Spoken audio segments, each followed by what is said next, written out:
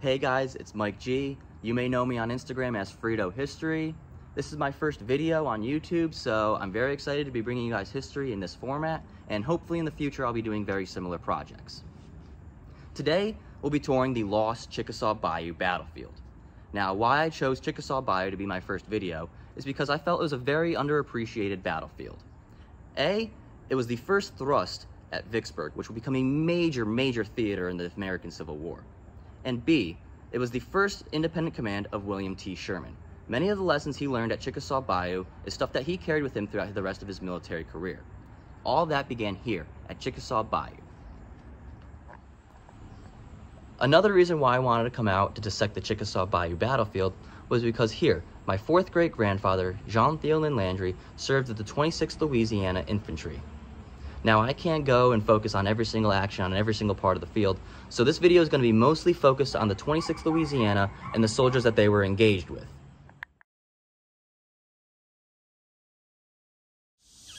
And this is a great place for us to start our Chickasaw Bayou tour on Washington Street, the center of the Chickasaw Bayou battlefield. And it is here where the only marker for the Chickasaw Bayou battlefield is located. It was placed here in 1961 by the Mississippi Department of Archives and History. And there's a number of these highway markers located around the state. They are really cool. Uh, I love checking them out. But this right here is the only marking for the Battle of Chickasaw Bayou anywhere on the battlefield.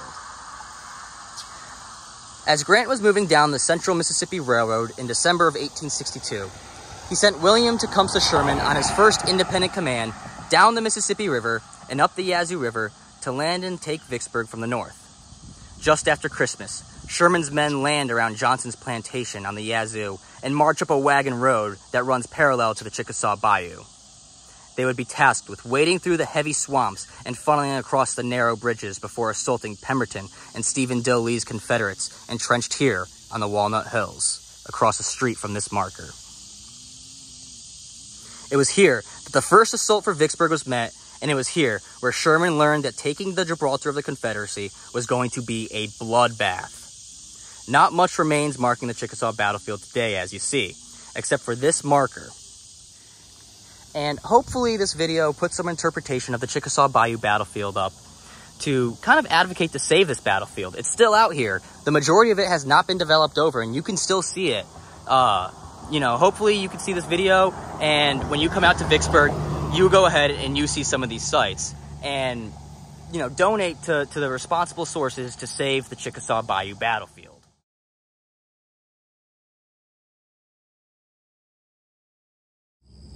Continue down Washington Street and turn right onto Haining Road and you'll find yourself here at this timber yard, which is across the street from the site of the Vicksburg racetrack, which would have been here during the Civil War, and you can still see remains of that racetrack back there today. Behind me, you can see the obelisk from the U.S. Navy Monument at Vicksburg National Military Park. On the road here in front of me, the 61st Tennessee Infantry was deployed in a line of battle. Right in front of them was a very dense line of abattis, which would have been uh, chopped down and sharpened log, uh, communication wire to tangle up soldiers, any anything to kind of create a, uh, a barrier or an obstacle for the Union soldiers coming down here in this direction.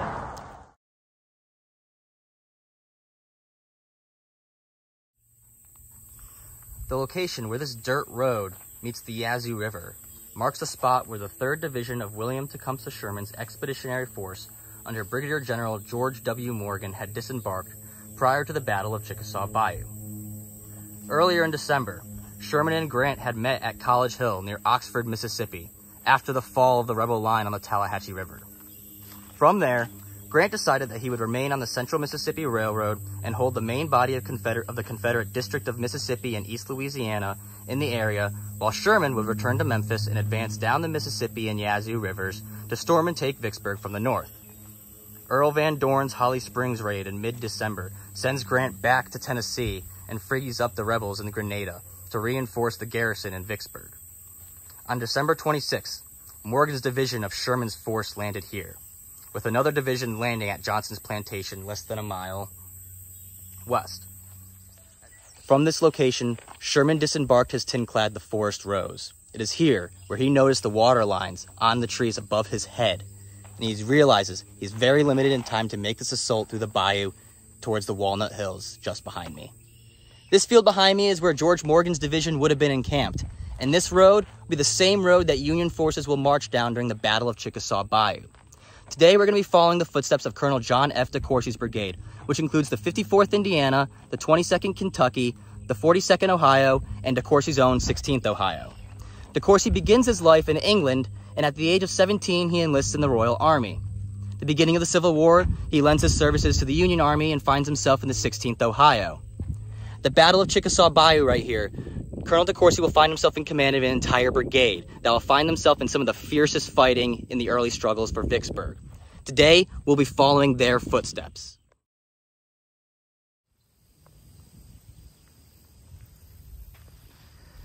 Where this dirt road turns and kind of touches the Chickasaw Bayou for the first time would have been the approximate location of Ann Lake's cotton gin. Now, approximately right here, the 26th Louisiana, the 46th Mississippi, and one battery of the 1st Mississippi Artillery would have been deployed facing that direction. Coming down the road would have been Colonel DeCourcy's brigade. Right here on December 26, 1862, the first shots of the Battle of Chickasaw Bayou were exchanged.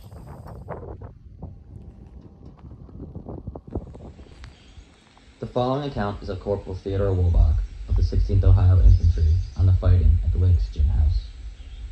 Quote, Saturday, we moved in larger force farther from the boat landing. Progress was slowed and attended with very little firing until about 5 o'clock in the evening, when a furious musketry fire was opened on the 22nd Kentucky Infantry that was operating in the advance. The sudden onslaught confused the men slightly, but under the clear, sharp commands of Colonel DeCourcy, who was with them, they promptly dressed their line, and at the word of command, returned the fire, driving the enemy away. Ten of the Kentuckians were wounded, and one killed. After this sharp set, it was quiet for a while. The 16th stacked arms in a large turnfield, near the edge of the road that ran along the Chickasaw Bayou.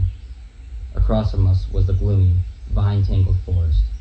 From the branches of the trees hung the gray Spanish moss in abundance.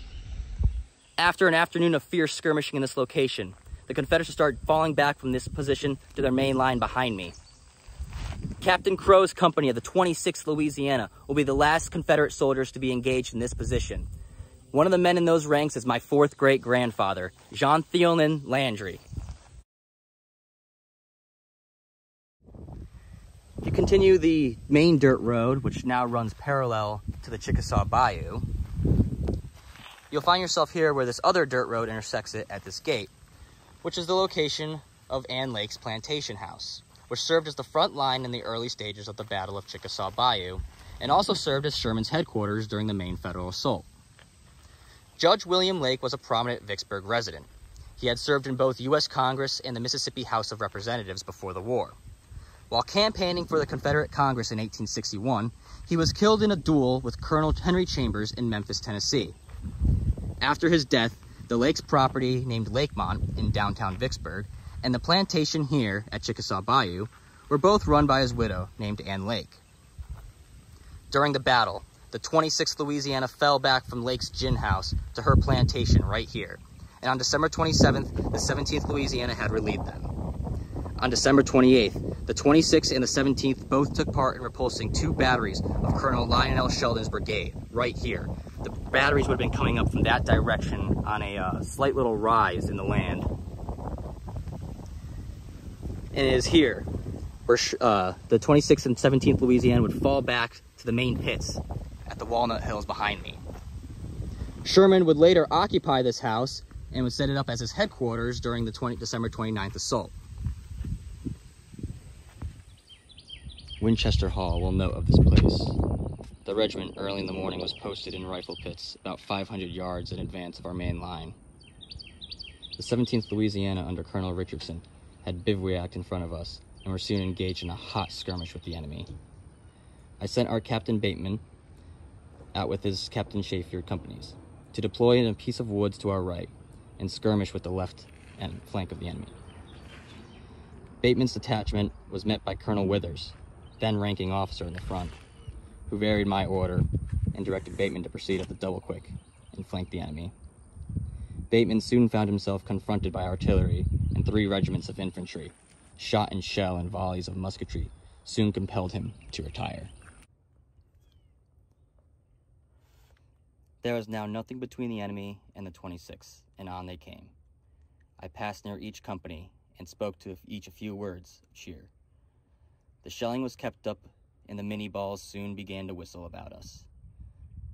But as the firing was under cover of woods which came to within 200 yards of our pits, we could have only had the occasional glimpses of a moving body. Therefore, fired sparingly.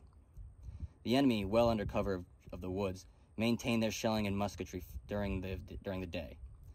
There was a wagon road from the Yazoo running up through our pits. The enemy ran a battery up this road to within about 400 yards of our line and in plain view. About time the guns were unlimbered and we, and we peppered them so hotly that they retired hastily without favoring us a single shot. And those, the brigade that, or the battery that is mentioned here is the 7th Michigan Artillery and the 1st Wisconsin Artillery overcoming from that direction.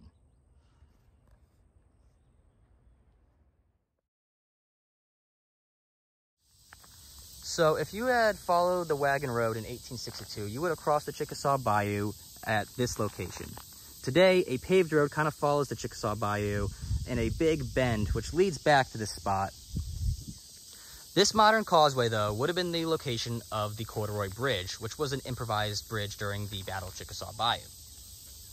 On the night of December 28, 1862, the 17th and 26th Louisiana Infantries had fallen back from their main positions around the Ann Lake House to a series of rifle pits on the opposite side of the Chickasaw Bayou in front of the main rebel line at the base of the Walnut Hills. Passing through this location on the way after days of vicious fighting for every inch of the swampland. All that lay between Sherman's expeditionary force and the Confederate line was the Chickasaw Bayou and a heavy abattis. The next morning, Sherman launched the long-awaited assault with the hopes of breaking through and continuing on to Vicksburg. Morgan L. Smith's division was launched as a diversionary force on the center as George W. Morgan's division would strike the right of the southern positions. DeCourcy's brigade of Morgan's division had been on the front lines throughout most of the battle and was tasked with continuing down the main wagon road and over the bayou via this corduroy bridge before charging the, re the rebel line entrenched on those imposing hills. Simultaneously, a fresh brigade under Francis Blair of Steele's division would charge Pemberton's line adjacent to DeCourcy on the other side of the bayou. Back here at the Corduroy Bridge, the 54th Indiana and the 16th Ohio were the first two regiments to be funneled across the bridge, and they did so under heavy fire. Once on the other side of the bayou, survivors would attempt to have to charge through an area of thicket and fallen timber known as the Bloody Triangle, before reaching the first rifle pits occupied by the 17th Louisiana, 26th Louisiana, 3rd Tennessee, and 62nd Tennessee, positioned in a kind of semicircle. Uh, you can think of it very similar to Pickett's charge, how the Union would have been positioned on the top of Cemetery Ridge there. The Corduroy Bridge site survives to this day and is here right now, marked by this modern causeway, giving you a perfect visual representation of what the bridge would have looked like, how thick it would have been, and where these men would have had to been funneled across before charging the Walnut Hills in front of me. The topography of a battlefield is extremely important. Here at Chickasaw Bayou, the geography forced Sherman to funnel his men across the bayou at thin crossings. This is a big reason why there was such a bloodletting here at the Battle of the Walnut Hills. The following is an account from Private Frank Mason of the 42nd Ohio Infantry, DeCourcy's brigade. Quote, the road by which DeCourcy's brigade was to advance was a mere path through the woods, entirely obliterated by the fallen trees. Where this path struck the farther bayou, it turned abruptly to its left, followed the edge of the water about 12 rods, then turning sharply to the front, crossed the bayou on a rough log bridge or causeway, about 10 feet in width, to the solid ground which sloped upward and forward to the base of the bluff. The whole distance from the starting point of the storming columns to the first trenches of the enemy was perhaps three-fifths of a mile. At a given signal, the batteries of Morgan and Smith, posted along the first bayou, opened simultaneously, working as rapidly as possible to keep down the enemy's fire. At the same moment, the two assaulting brigades started forward, each crossing on its narrow and frail bridge under the muzzle of the Union guns and advancing across the slashed timber. The enemy opened fire instantly and swept the whole valley with shells, shrapnel, canister, and musketry. Marching in close order, the men climbed logs and tore through the treetops, pushing forward as best they might. The three leading regiments had executed the flank march along the bayou and crossed the narrow bridge. Reaching the solid ground beyond, they deployed in column of divisions and marched rapidly up the slope.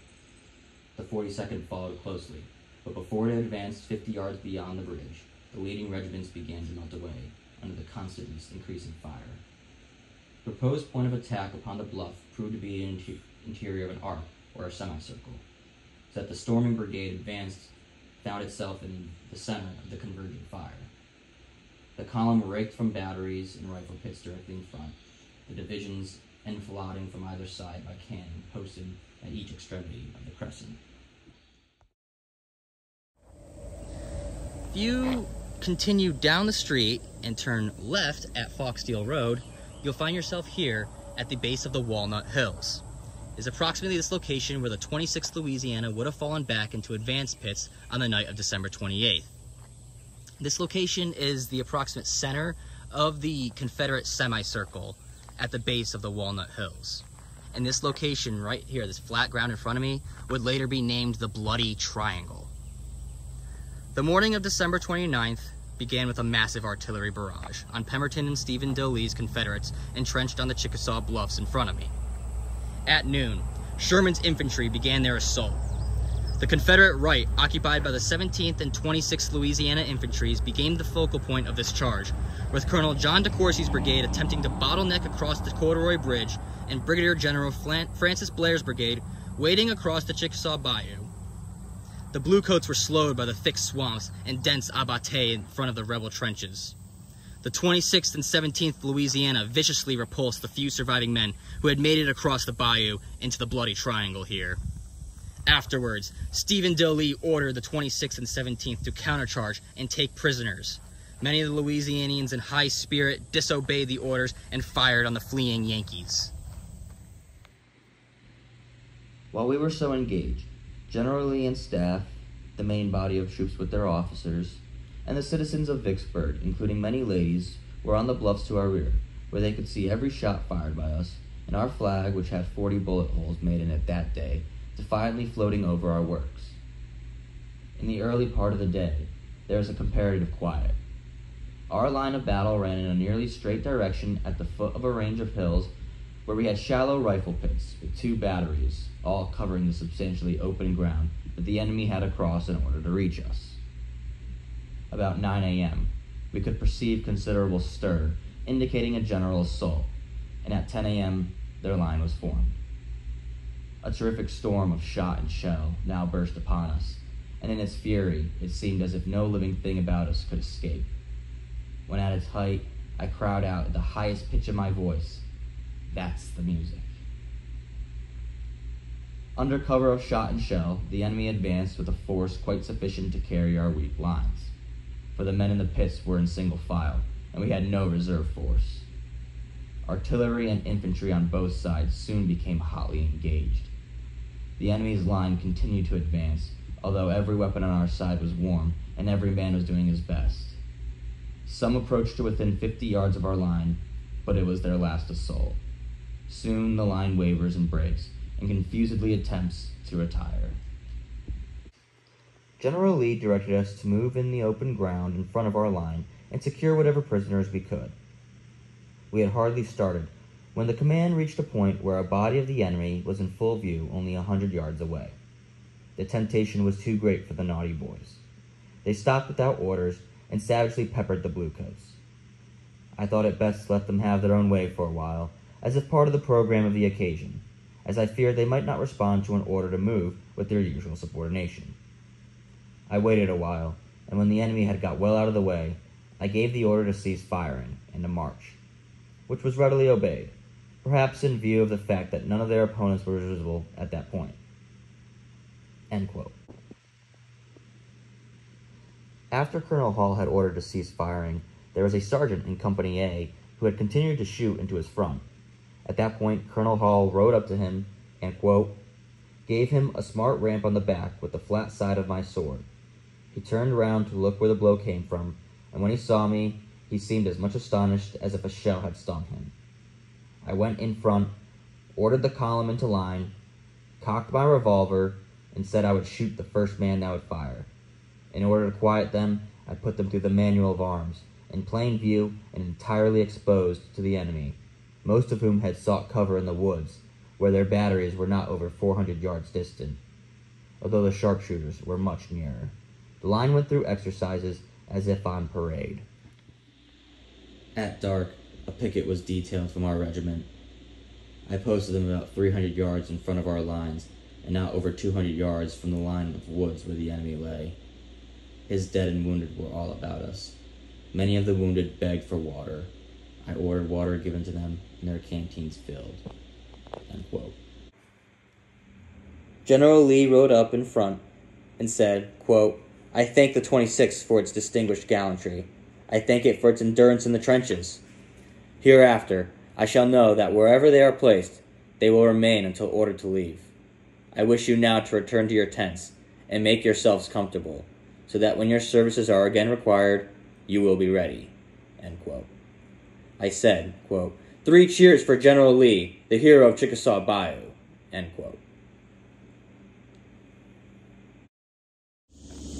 Right here where the Chickasaw Road meets Washington Street is the very heart of the Chickasaw Bayou battlefield. It's the center of the Bloody Triangle.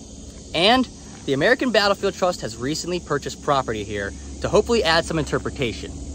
This goes to show you that this is not a losing fight. This is not lost yet. We can go back, we could save Chickasaw Bayou Battlefield and hopefully have it preserved for future generations.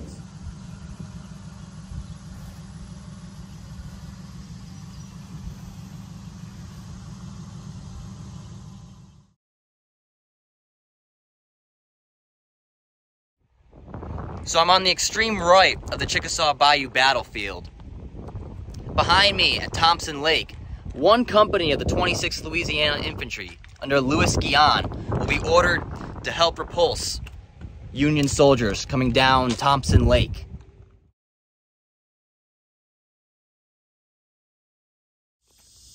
If you continue down Washington Street and turn right onto Kings Crossing Boulevard, you'll find yourself at the very end of the street here at private property, where you can see this thicket of trees, which is a Indian mound actually.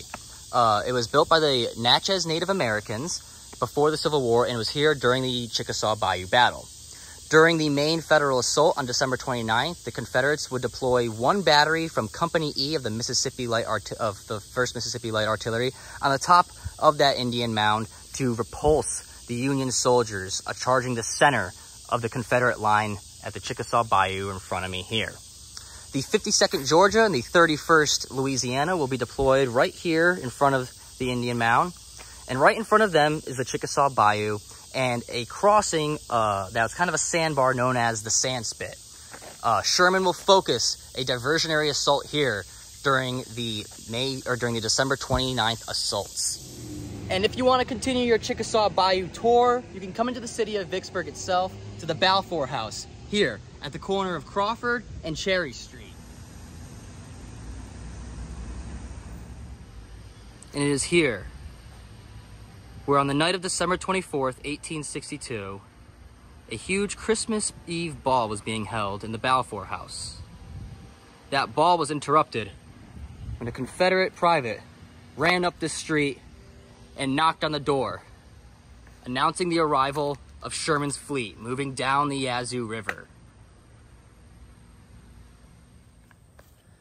And a short drive from Chickasaw Bayou is the Vicksburg National Military Park, where the 26th Louisiana Infantry have their own monument in the same rifle pit that they held up in during the siege. This is just left of the Stockade Redan.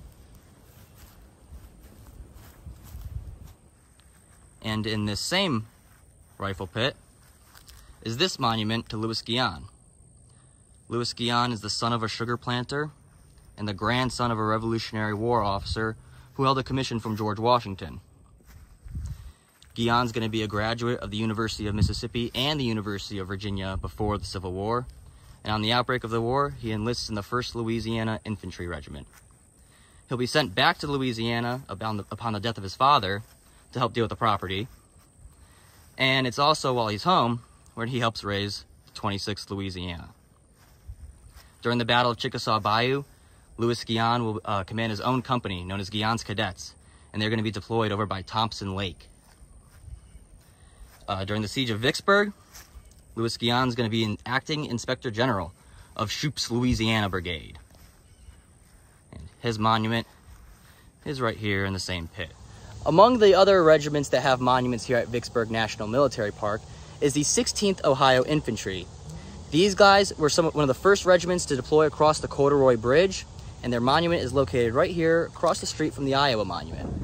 And if you park up at Fort Hill at the Vicksburg National Military Park, and you look in that direction, that's the Chickasaw Bayou battlefield. It's the old Yazoo River right there. Sherman will advance this direction towards the Walnut Hills, which extend that way. And if you come to the Vicksburg National Cemetery, near the entrance there is this monument dedicated to Union soldiers who were captured during the Battle of Chickasaw Bayou and died as prisoners of war and are currently buried here. There are 44 known to name and the others known only to God.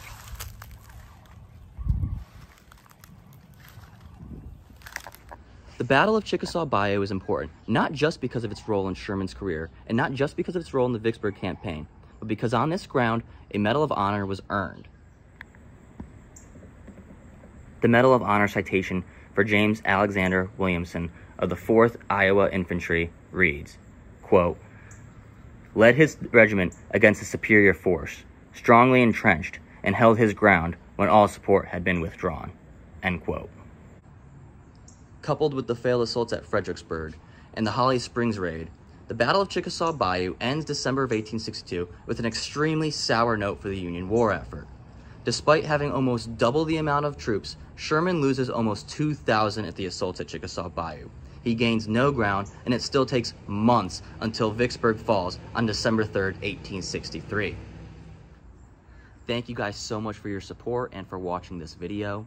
Hopefully you enjoyed your tour of the Chickasaw Bayou battlefield today. And next time you guys are in Vicksburg, definitely consider seeing the site for yourself. Also, please feel free to donate to the responsible organizations that I had mentioned in this video, such as the American Battlefield Trust, with their efforts to save the Chickasaw Bayou battlefield. Like I had mentioned earlier, my name is Friddo History on Instagram, so please check out that account, and be on the lookout here on YouTube for more videos similar to this. Thank you guys so much, and I really enjoy, hope you guys enjoyed your tour of the Chickasaw Bayou Battlefield.